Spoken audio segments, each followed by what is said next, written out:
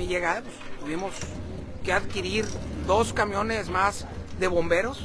este, en excelente estado, son de primera calidad lo que tenemos. Eh, y el compromiso por parte del comandante era yo los equipo y ustedes se me capacitan y se me ponen al nivel de, que deben de estar de lo que requiere Victoria en temas de protección civil. Entonces, a ver, estamos en primer nivel, ellos traen el mejor equipo, están suficientemente capacitados, este, el comandante ha estado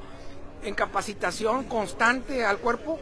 y bueno, pues este, y traemos el equipo necesario para poder salvar a una persona que quede prensada, que este, traemos equipo suficiente y estamos bien capacitados. Importante los cuerpos de emergencia de la capital, ¿cómo andamos en, lo que viene a corto plazo a largo plazo para protección civil y también para...